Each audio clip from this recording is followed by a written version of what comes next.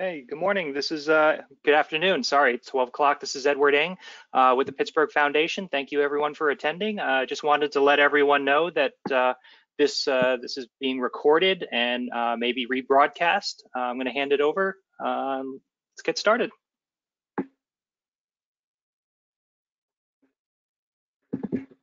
Good afternoon, Pittsburgh Foundation donor family. Thank you so much for joining us in webinar mode under these unprecedented circumstances. When I was planning this video gathering with our development and donor services team, I remembered back to when I hosted our fall donor event just about a year ago. It was my first official act after taking over as president last June, a boat tour of the exciting developmental and environmental improvements along our riverfronts. It was a beautiful evening and the turnout was wonderful. The boat was full and there was music and great food and drink. There was a guided tour featuring a lot of projects completed when I headed River Life, the organization responsible for waterfront development. And there were new initiatives I was amazed to hear about and a new president of River Life. It was such a wonderful setting to be able to talk to many of you about how the foundation could do more and be more effective in the community. Did I say all that happened a year ago? Or is that 100 years ago in COVID 19 time? The disastrous coronavirus has taken an unprecedented health and economic toll around the world, across our country, and in every community of the Pittsburgh region. And it has kept us physically apart. So we are forced to find new ways to be together, such as this webinar today. As a recent veteran of teleconferences, which faces freeze in mid-sentence, echoes compete with feedback, and people drift out of the little screen frames, believe me, I know that we're dealing with an imperfect substitute for the real thing. Hopefully we won't have too many of these glitches during this hour. Despite them though, the technology that enables virtual gatherings has been a godsend during this public health lockdown. We at the Pittsburgh Foundation certainly feel grateful to be able to use it to continue the 20 year tradition of special donor events in which we celebrate and thank you for what you do as an integral part of the foundation. At most of these donor events, we try to explore an area of community life or dig into an important quality of life issue. And we're doing that in this virtual session with an update on the progress of the Emergency Action Fund. For a quick review, on March 16th, we teamed with our regional philanthropic peers, the Heinz Endowments, Richard King Mellon Foundation, the Henry L. Hillman Foundation, as well as the United Way of, of, Southwestern Pennsylvania, to provide a fast process to get emergency relief to nonprofits who are meeting the essential needs of our residents, those who are most vulnerable in this crisis. Most of you in our donor community should be very familiar with this as the first thing our foundation does in times of adversity. And our donors are always essential to whatever success we have. To explain it by the numbers, we're proud to announce that of the 8.3 million we raised through the fund, Pittsburgh Foundation donors and our foundation's discretionary funds counted for nearly 1.8 million. So the first message I need to give you this morning before we get into the details of the fund and what it is accomplishing is thank you, thank you for unprecedented generosity to meet an unprecedented emergency. Our, our donors showing, your showing, is such a wonderful thing to be able to report to the community. It demonstrates the power of a community foundation to go quickly to where the needs are greatest. Time and again, you demonstrate how Pittsburghers come together in the face of adversity to support each other. That ethos has been the driving force behind our foundation's neighbor helping neighbor philanthropy for 75 years now. And in the spread of this virus has just it's just revealed how wide the gaps are between those who are taken care of in our regional economy and those who struggle to get access. In comparison to the types of adversity the foundation has dealt with before, we are now in uncharted territory. Unemployment is at record highs and demands for services are soaring. People who have never needed services before suddenly find themselves, for example, in a mile long line of cars at the regional food bank. They are deciding between making the car payment or the housing payment. As we've seen, the effects of this pandemic continue to ripple across all facets of life. As medical researchers race to find treatments, a cure, and a vaccination, we will continue to adapt and overcome challenges together. You'll see evidence of that in the use of the Action Fund.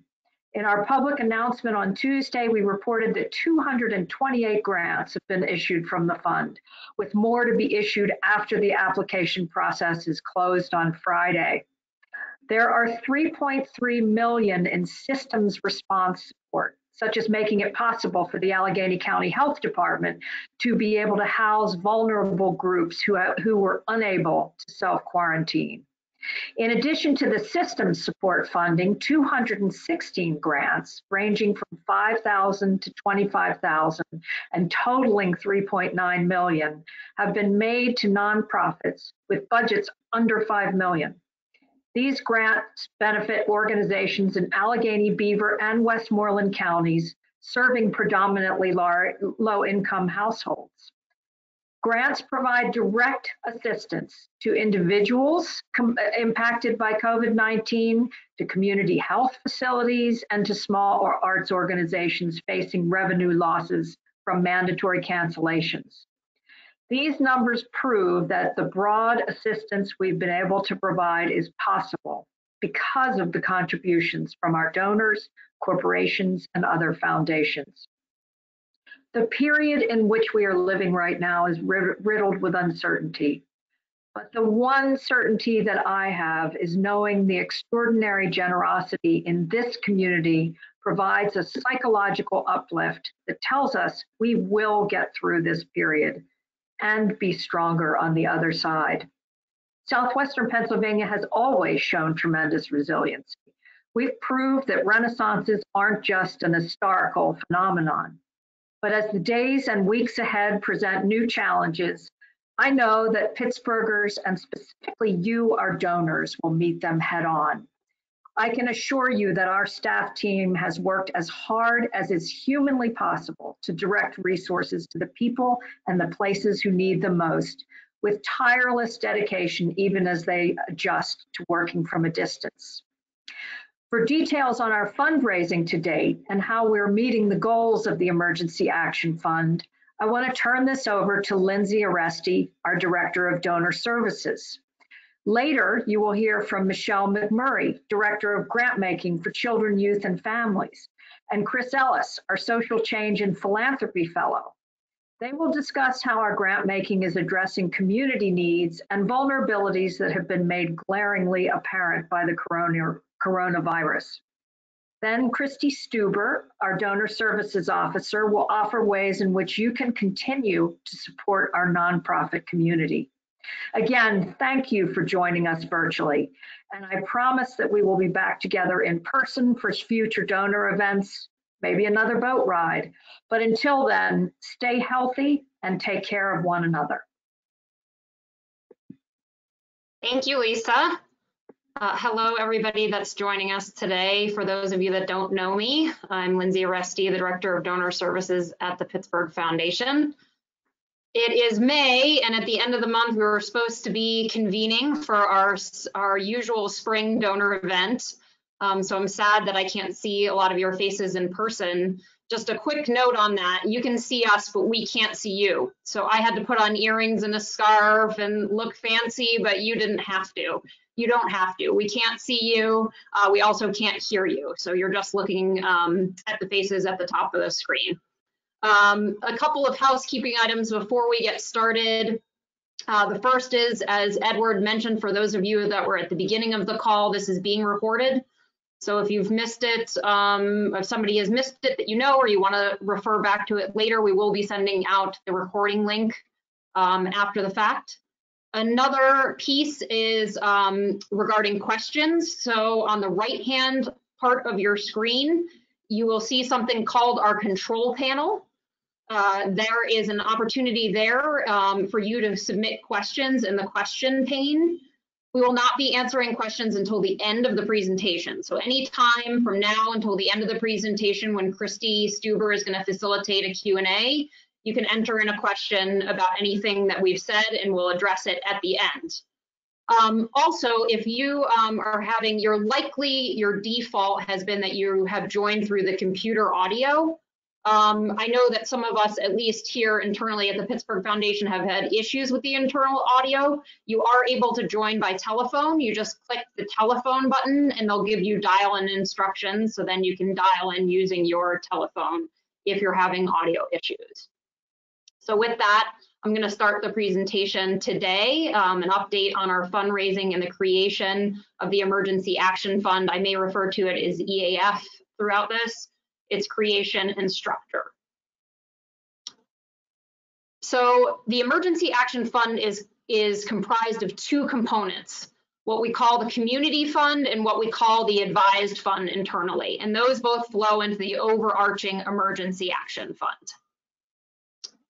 So the Community Fund is a compilation of large contributions from the four largest private foundations in the region. So the Pittsburgh Foundation, the Richard King Mellon Foundation, the Heinz Endowments, and the Hillman Family Foundations all came together with $4 million to start the Emergency Action Fund. And with that, we've been able to make some immediate larger grants to some organizations in need. So those, primarily those grants, as Lisa mentioned in her remarks, one of the grants went to the PA Department of Human Services, to provide quarantine space for those that could not self-quarantine.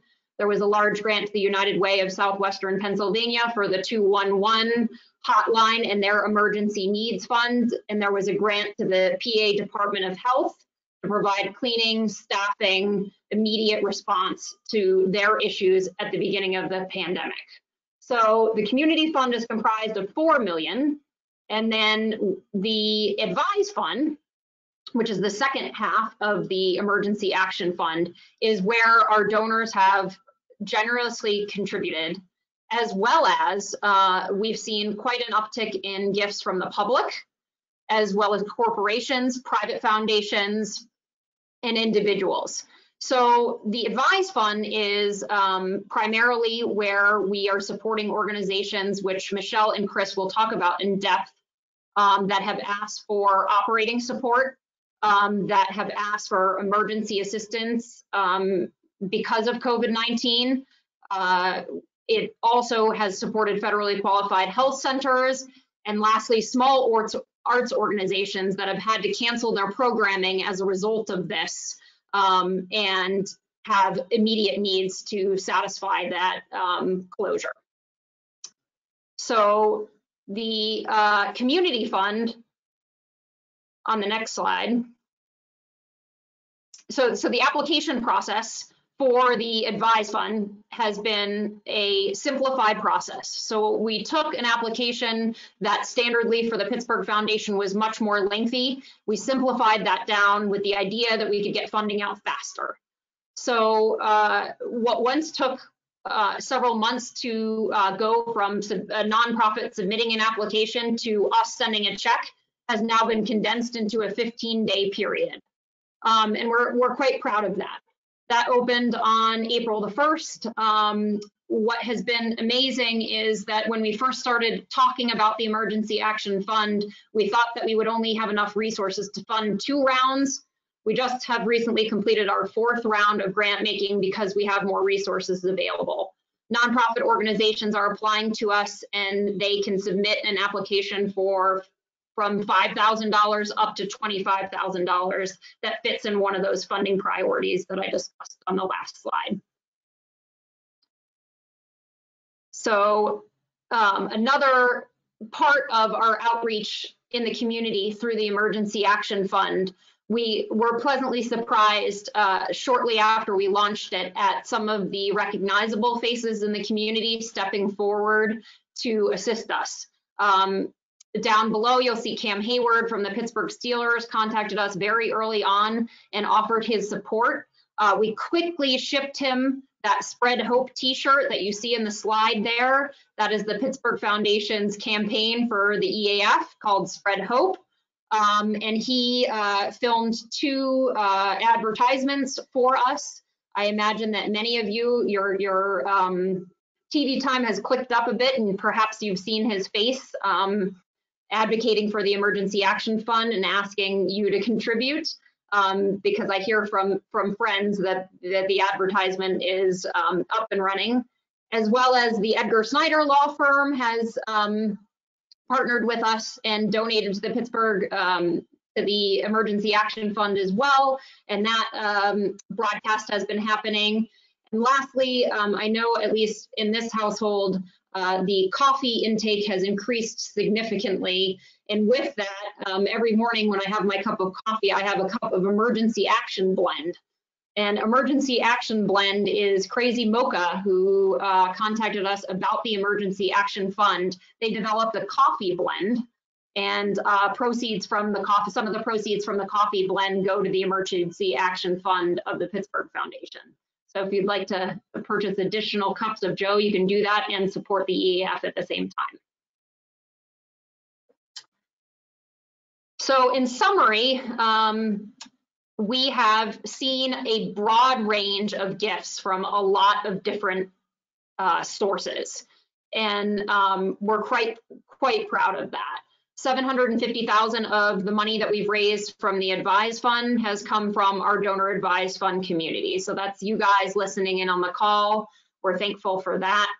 Um, and the combined emergency action fund as of today has raised $8.3 million.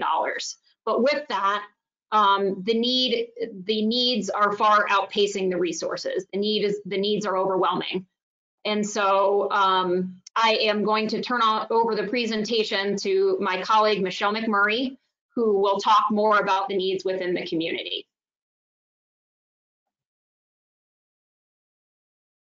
Hello, everyone. It's nice to be with you today uh, just to talk a little bit about what the activity has been of the Emergency Action Fund with my colleague, Chris Ellis.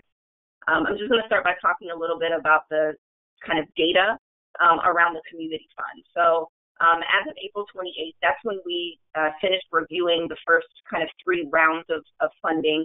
Um, we had received 437 applications uh, for the fund. So that's a huge response. The fund only opened, um, you know, about three and a half weeks ago, and so um, a lot of applications uh, received in a very short period of time, which demonstrates the level of need um, that there that there's been in the community. Um, we have reviewed a total of 363 of those. Um, the requests totaled almost $10 million. So in terms of what organizations felt that they needed in order to really navigate this difficult period of time, um, $10 million. But as you know, um, and as Lindsay noted, the grants range between $5,000 and $25,000.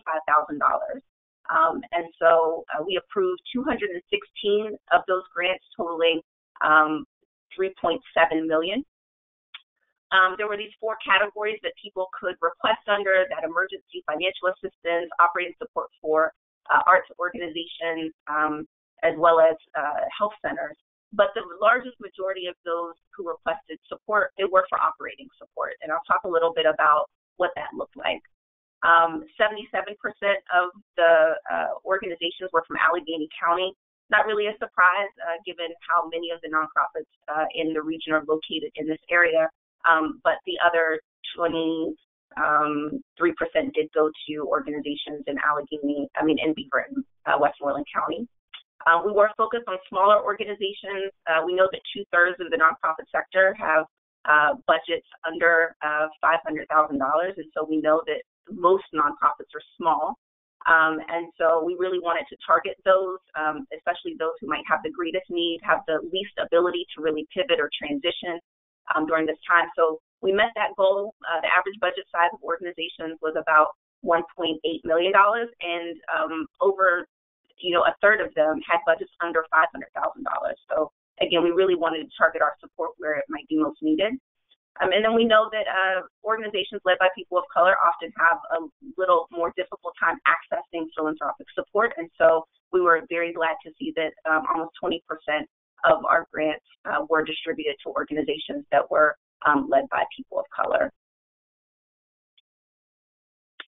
Um, what we funded, So these are the major categories uh, of funding uh, for this particular program. Um, they fell into these categories. All of the grants were administered as operating support, so organizations would have the flexibility to use them as they felt needed. But I will say that many of the organizations who applied for funds were asking for specific support to either sustain their operations, to expand programming to meet increased need or demand, or shift their programming to respond to a need in the community that really was not met uh, by another program. For instance, we had in the child care category Arsenal Family and Children's Center like most child care centers in Allegheny County, they were mandated to close in mid-March, which means they are not receiving any tuition or fees, but continued to pay their staff and of course had their overhead costs like their rent and utilities that they still had to meet. Um, there's also the Western PA Diaper Bank, um, which some of you I'm sure know. They had already distributed a half a million diapers so far this year when the pandemic started, but they had seen an increase um, in demand since uh, March uh, the, the start of the COVID-19 pandemic. And their requested emergency action fund was to assist them in increasing their distribution of diapers and wipes. And they projected that it was going to reach 50,000 diapers per month um, as of as of as of May. Um, so their grant was really specific to helping to meet that increased demand.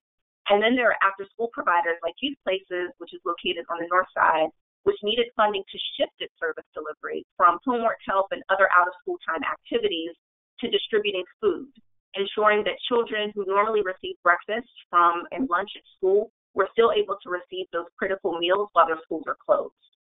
Um, and then lastly, in the arts category, there are small arts organizations like Society for Contemporary Craft, which we believe are critical to a thriving, healthy community. And they were scheduled to actually open their new facility in April after being displaced um, after 33 years from their home in the Strip District the organization had planned a, a gala uh, fundraiser, which they had to cancel, and all of their classes were canceled during that time period, and they weren't able to earn any revenue from art sales. And so you can imagine what kind of an impact that has on an organization that's not only trying to do what it normally does, but also is navigating the transition into a new space. So these are just examples of some of the organizations that we funded um, across these categories, um, which we think are really, really critical.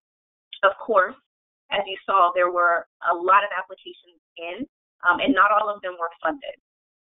And so I just want to talk about a few categories of of, uh, of funding um, that we weren't able to make this round, but we still know and understand to be critically important. So one category was around projected needs resulting from COVID-19. So this emergency action fund was really about meeting the most immediate critical needs, the impacts that were really being felt right now, most immediately by um, neighborhoods and, and, communities and families.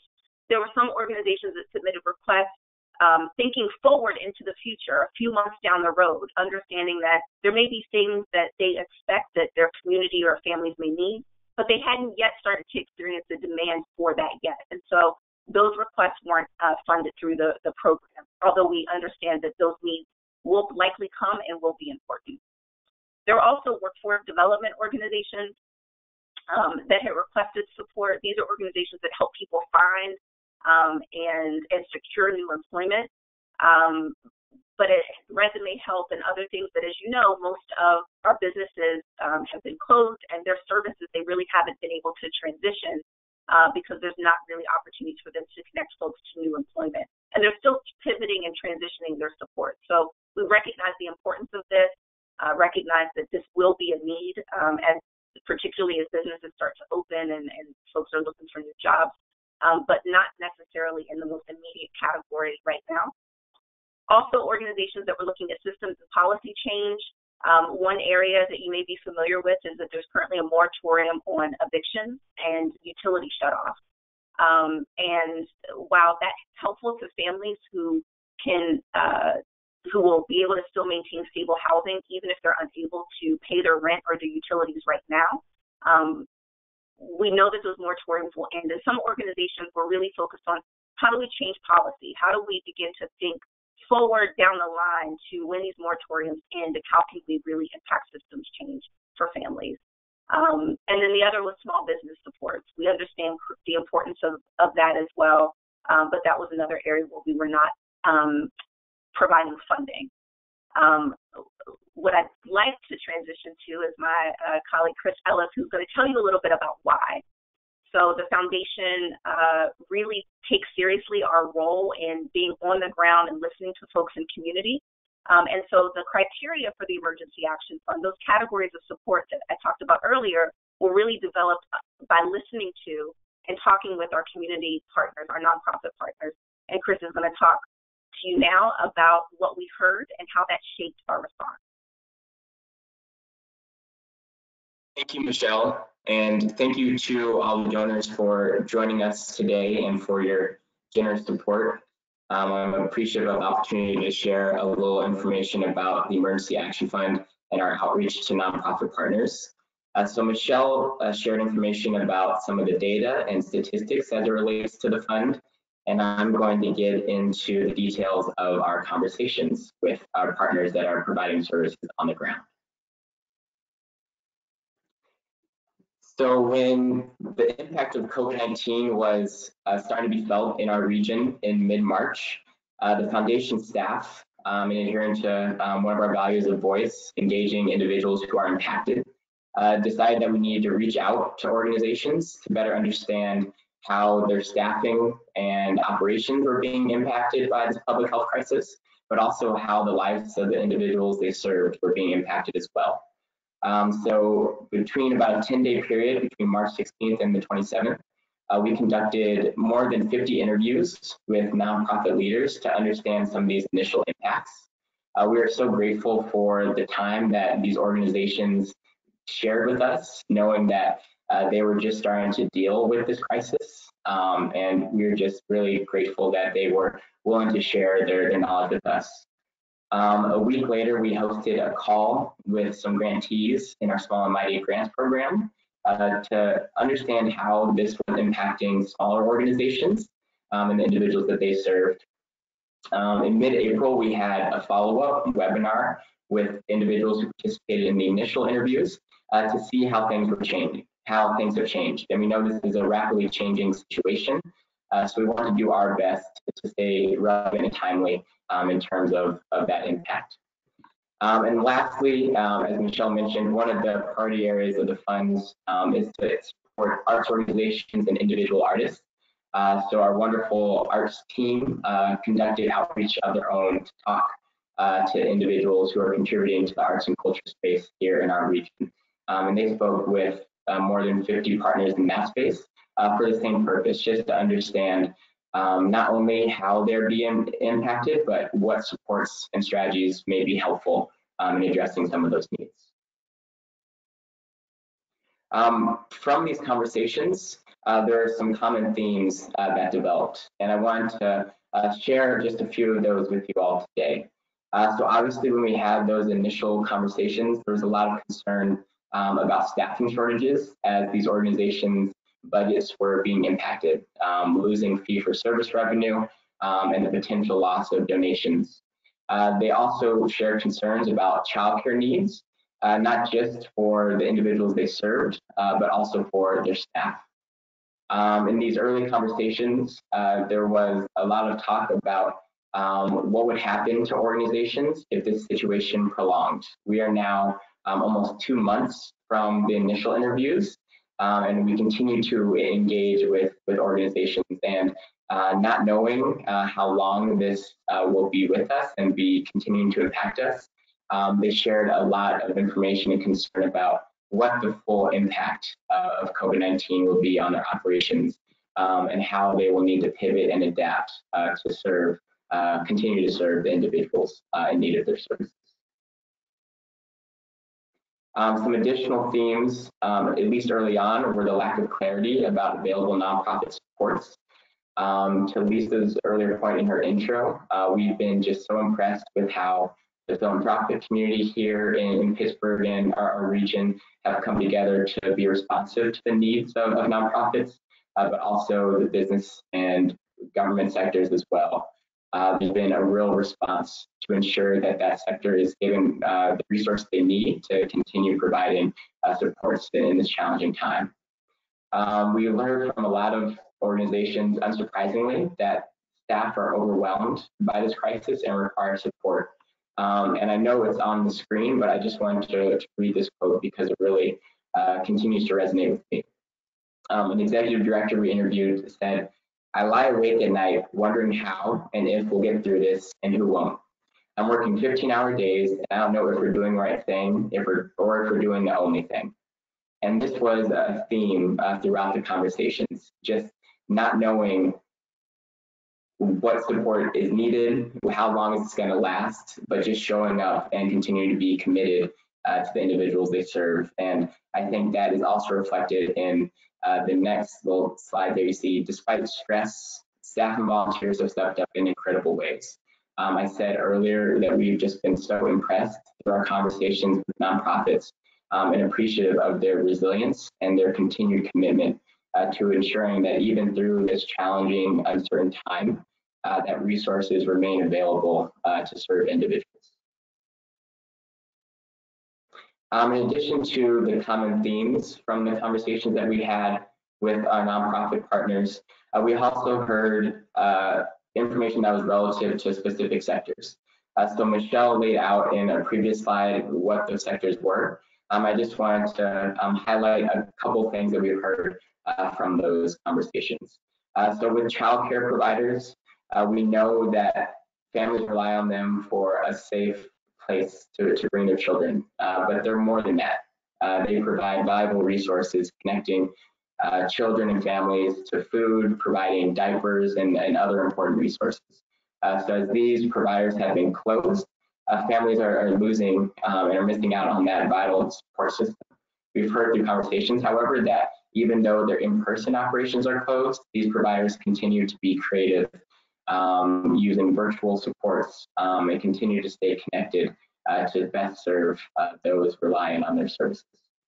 Um, when we talked to our food providers, uh, we heard that organizations are struggling to get food to individuals who need it.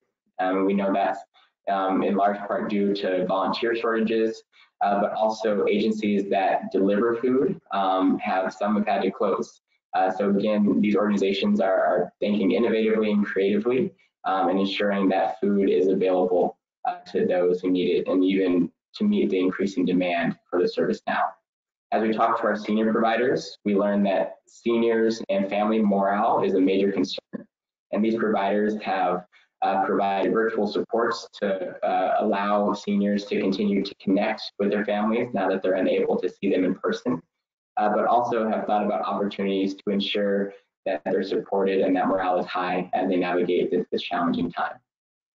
As we look at some of the other sectors on the next slide, um, healthcare, uh, initially when we had these conversations, um, a resounding message shared was just the limited supply of personal protective equipment. Um, and as they sought to serve both the mental and physical healthcare needs of individuals, and not having enough access to this valuable resource in order to do that. As we talked about housing, Michelle mentioned this a bit, but um, with staffing and volunteer shortages, some organizations have only been able to serve existing clients. And we know that affordable housing and homeless services are going to be uh, really important in, in the mid and long term. Uh, so in working with these partners to ensure that those supports um, continue to exist. With our out of school time providers, they have been amazing in um, helping children as they adapt to the disruption in their education, providing virtual supports. Uh, but these organizations are struggling with the same uncertainty of their budgets and trying to figure out what does programming look like now and how will their programming continue into the summer. And lastly, we talked to our arts and culture organizations and organizations serving underrepresented populations. And with the arts and culture group related to the priority of the Emergency Action Fund, a lot of these organizations are dealing with canceled events, exhibitions, presentations, which they rely on for a significant part of their budget. Um, so how are, are, they meeting that gap? Uh, and what does the future of arts and culture programming look like? Uh, for our underrepresented populations, we had wonderful conversations with these organizations um, and just to share that uh, support and relief services rarely include undocumented residents. So they're working very hard to ensure that um, these resources are accessible, whether that's translating information and documents or just making sure that people can get to the necessary resources. Um, so that is sort of a quick overview of what we heard uh, from the nonprofits that uh, we interviewed and conducted outreach with. And I'm going to pass it back to uh, Michelle, uh, who's going to talk about the recommendations that came from this work and some of the next steps. Michelle. Thank you, Chris. Um, so I know that that was a really quick overview of what Chris provided. I would love to also direct you to our website. So there's a report on our the Emergency Action Fund page. Um, there's a tab called Conversations with Nonprofits. Um, and you can find a more detailed um, uh, and in-depth uh, understanding of what we've heard um, from our website. So um, that information, there's lots of it, uh, and if you're interested, you can find more there. In terms of uh, what we did with what we heard, um, or what they told us we should do with what we heard, um, there are five recommendations uh, that that we feel really resonated throughout the interviews, regardless of what sector we were talking to. Um, one of those, and probably not very surprising to you, is just provide unrestricted funding to nonprofits. As you know, foundations often have these different categories of support. Capacity building um, might be one, uh, operating support is another, programming support is one, where it's just for a defined purpose. But given all that's happening and how quickly things are changing on the ground, they really feel like to respond to the needs of the people that they serve, they need the flexibility. The other is to advocate for systems change. Um, as we said, one of the areas that we didn't fund in was in advocacy and public policy, but we do know that many of the things that are impacting nonprofits can be addressed through government action. And so um, they want us uh, to be one of the, the groups at the table um, helping to think about how do we advocate for um, systems change. Be a trusted partner.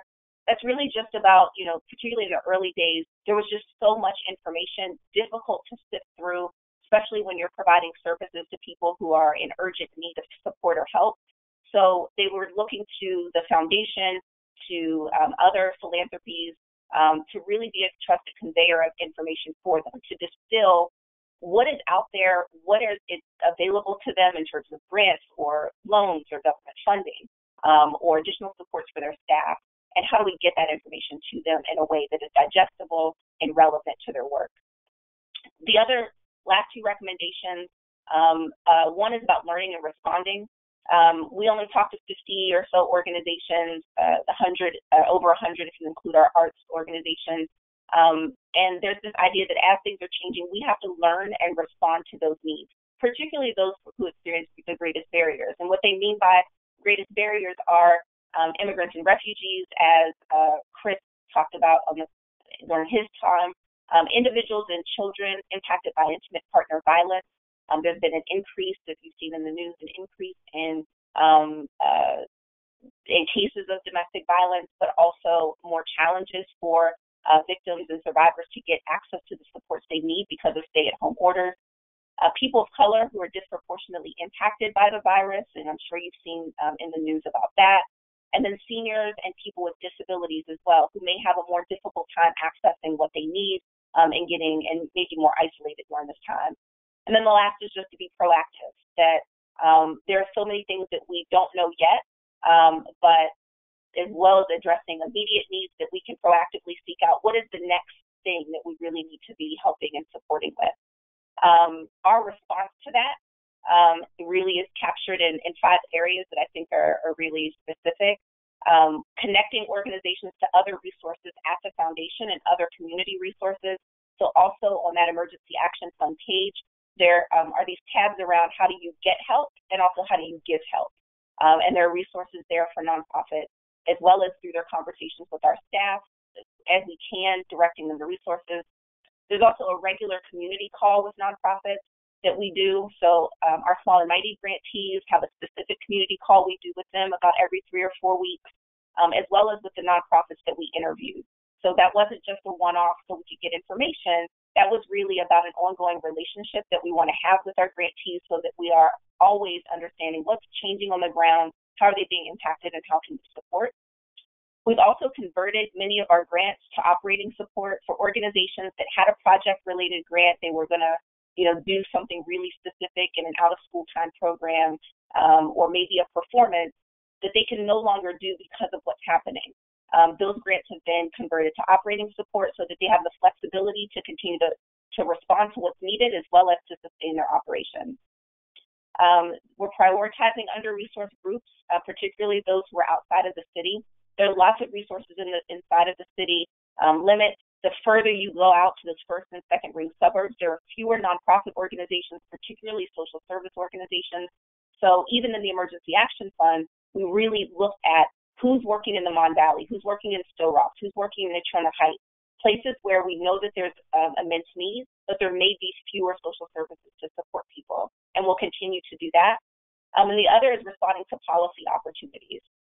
Yesterday, we posted a, a policy alert. We had about 100 nonprofit partners. Uh, we brought uh, elected officials and nonprofits together to talk about uh, supplemental nutrition assistance program. Um, some people may know it as food stamps or SNAP.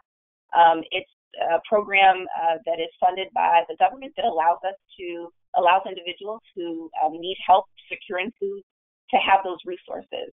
Um, and except we know that folks have barriers, particularly in a time where um, you're not supposed to go to the grocery store, uh, delivery uh, fees, pickup fees, um, and the ability to just purchase online. Um, you can't do that if you have uh, SNAP.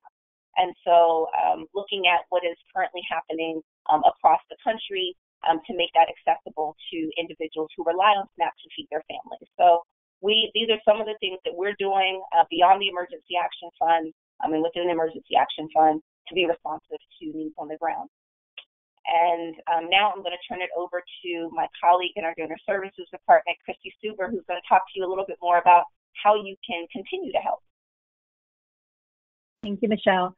So before um, I move on to how you can help, I do want to remind you if you have any questions about anything you've heard so far, please go to the question box in your control panel and type in your questions. We'll have time at the end to um, get more information from the panelists. But you probably are wondering, how can I help? We got a lot of really good information, so now what? And we have four areas that we think you could be really useful in and that might be useful to you. The first would be to give to the Emergency Action Fund. As was mentioned, the need is greater than what we've raised so far. We're anticipating being short about $250,000 to be able to fund the organizations in the last two rounds that we want to support. So if you're interested in providing support to the Emergency Action Fund, talk to your donor services officer. Consider attending the webinar on May 28th at 9 a.m. about good grant making. This will be particularly useful during this time, how you think about using your financial resources strategically and in a way that has meaning for you. We mentioned having a lot of declined nonprofits. If you're interested in learning more about those, you can talk to your donor services officer about those unfunded applications to see which may align with your areas of interest. And then finally, continue to support the nonprofits you care about. You all are doing this already. Our total donor advised fund grant making is up 60% over last year during this time. This does include the grants that were made from the Emergency Action Fund, which was contributed to by many of you. So we're very busy making grants to the community and getting money out, and we're very appreciative of what you've done. We ask you to continue to do that and to take consideration what Michelle heard from the nonprofits. When possible, consider giving unrestricted support. Um, continue to be trusted partners. You're a trusted partner for us as a nonprofit community, and we hope that you're going to share what you learned today with other people in your network so you can help be um, good, informed philanthropists in our community. And system change is a big issue.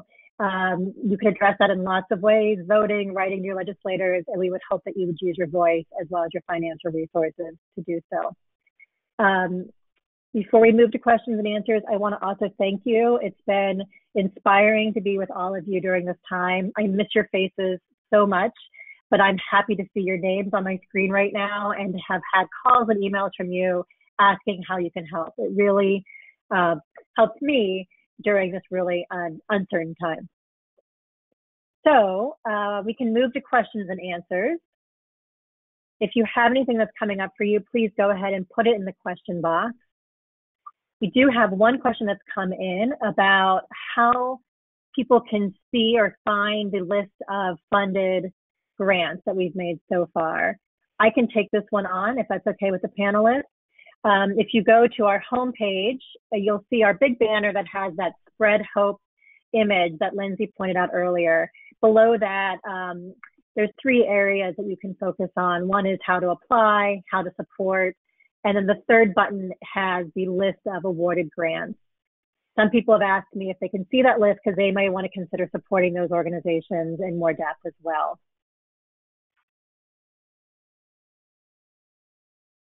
Another question that um, I have for the panelists is, what has been your biggest takeaway during this time?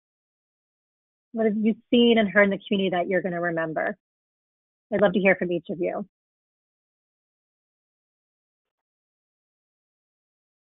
I guess So, I'll answer first. Um, Okay. Um, so the thing that I think I take away from this time is how incredibly resilient our communities are, um, and particularly, and in addition to that, the nonprofits that serve them.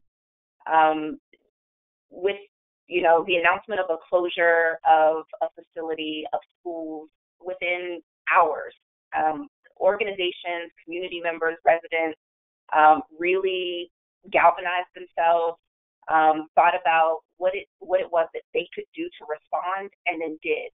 Um, and some with very little resources um, at their disposal. Um, we've also seen mutual aid networks um, pop up throughout communities, and uh, a mutual aid network is one that is um, either where resources or supports are offered um, by the individual residents um, or neighbors within a community. So they're not funded by government, they're not funded by philanthropy. They are solely dependent upon the resources within the community. And these networks have become strong, um, uh, reliable resources for folks who otherwise may not have access to what they need.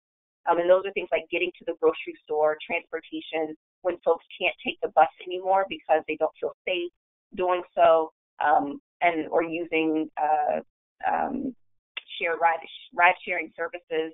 Um, and so for those individuals, um, having somebody that they know, that they trust, who's a neighbor that they can rely on, a phone number they can call to get that support. Um, so I'm just in awe um, and very grateful to be part of a community that responds um, really rapidly. Uh, and not because they're being asked to, but because they feel like it is their responsibility. Thank you, Michelle. Chris and Lindsay, would you like to add anything? Um, I think from, you know, my perspective in the donor services department, um, it, it's been amazing to me to watch the response from our donors in this crisis. Um, from, you know, all of the kind of things that we've had to do so quickly to accommodate our donors and the daily operations of the Pittsburgh Foundation were done almost immediately to try to get us, you know, working remotely and just the um, understanding, compassion, um, you know, all the challenges that may have been there prior to this pandemic just it, just has become more a I understand where you're coming from, you know, thank you so much for what you're doing in this community. So it's been um, despite these uncertain times, um, you know, being an uh, speaking from the staff of the Pittsburgh Foundation, it's been a real pleasure to um, be able to address the need and to to to to go to bed each night thinking, wow, you know, we've all come together to do something to help in these times. Thanks, Lindsay. Chris, would you like to add anything from your perspective?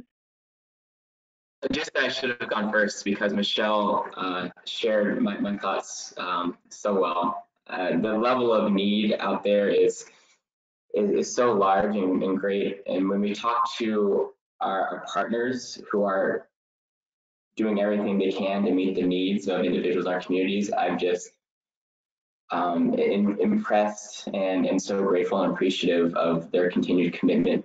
Um, sometimes the situation is changing hourly um, but they've always just continued to ensure that they are thinking about how to get resources and support uh, to individuals in our community. Um, they've been tough conversations, reading some of the, the grant applications that have come in have been, you know, tough and challenging, but uh, throughout it all, it's just been this resilience um, and the strength within uh, the nonprofits uh, that we have the great fortune to, to work with um, to ensuring that the individual needs um, in our community are being met. So I just want to echo Michelle's um, thanks and appreciation for those on the ground. Great, thank you. And Michelle and Chris, you both mentioned the great need. So what's next? What will be the next thing that we focus on as a foundation and that our funders should, our donors should consider funding? So that's that's a challenging question. I think that um, there is certainly a pivot um, that will happen away from kind of this crisis response um, in terms of like what is needed at this very, very moment. Um, uh, as we've seen with the kinds of applications that have come in, um, to thinking about what do we need to do in order to ensure that critical organizations are stable um, and are strong uh, continue to deliver the supports and services that um, communities rely on, um, as well as beginning to understand what does economic recovery look like and what is the role that the community foundation should play in that. Um, and so uh, I think in terms of what's next, uh, we'll continue to uh, probably double down on our 75 year history of meeting basic needs. That is what we do. We do well. Um, and and we'll want to make sure that organizations that have come alongside us in that mission are continue to be strong, um, as well as looking at again what is needed for economic recovery and, and what are some gaps. Um, we'll certainly be looking at policy um, and policy change and where there are opportunities for us to use our voice um, in that space um, to make sure that people have what they need to thrive. Um, so those are just some things I think in a general sense that are, are coming, but um, as part of our donor family, you should definitely expect to hear more specifics as they as they emerge. Thanks, Michelle. And the last question before we turn it back to Lisa Schroeder is um, what is a better strategy to contribute to an unrestricted to contribute unrestricted dollars to a nonprofit or to write a check for the emergency action fund i'm not sure who wants to take that one on lindsay maybe I mean, I would say that that at this stage, both are um, are of utmost need. Nonprofits are looking for unrestricted support, so certainly that's welcome. We're also doing similar funding through the Emergency Action Fund. So um, I would highly recommend both. I would just add to that if there's an organization that you're very um, connected to, that you feel very strongly about, they need your support right now. And if um, there's not one that you're really connected to, you've already supported them, as Lindsay said, in other ways, then you may want to consider the Emergency Action Fund. Um, Lisa Schroeder, we're going to turn it back to you to close us out. I want to thank you all again for joining us today and engaging with us. I hope you feel connected now to all that your generous assistance has made possible. And we will count on you to join us, communicate with us, and work with us as we move forward to make the most of philanthropic assistance in the months and indeed in the years ahead. Uh, the challenges that we have before us will provide an opportunity to take the lessons of our experience and our history of reaching out, the talent of our staff, and our relationships and collaborations with grantees, constituents, and partners to meet the needs and challenges that the Pittsburgh Foundation has always been dedicated to solving, but which are more now more urgent than ever. Whether your passion is education or healthcare, technology or the arts, research or social justice, fighting climate change or food distribution, this is our time to make a difference, to make our region once again a model of resiliency by fighting hard to build a healthier and yes, happier, more equitable, just society. Let's keep pushing ahead together. Until next time, know that your generosity inspires us and sets an example. And please stay safe. Thank you.